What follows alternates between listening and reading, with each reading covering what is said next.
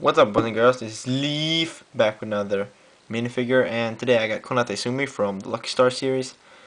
Anyone who is not interested in either Lego, Lucky Star anime games, just get the hell out of here.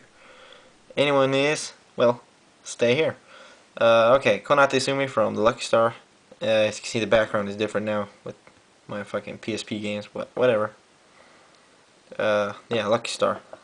Konata Izumi. So not really much to it just a regular high school girl uniform, you know, from Japan. So, you know, just the pink with the white and everything, the skirt. Uh, she's not supposed to have, but I don't really have any more yellow legs, so I couldn't do that. So, yeah, just brown. She got knee socks, so well, long socks at least, but that's about it. So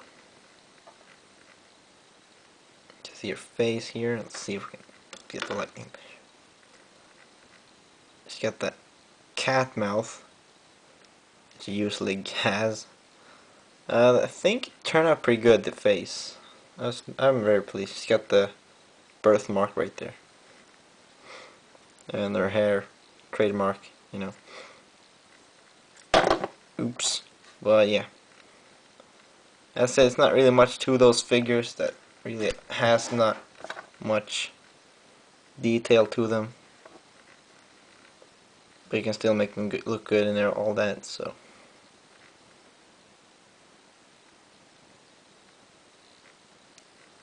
The hair turned out pretty good. So yeah. But nothing much to it. Just a quick custom that I made about the same time I made Junpei so yeah. You know the others are coming up so stay tuned for those other than that, thank you guys for watching. Please subscribe, leave a like, and comment down what you think. And I'll see you guys next time. Bye!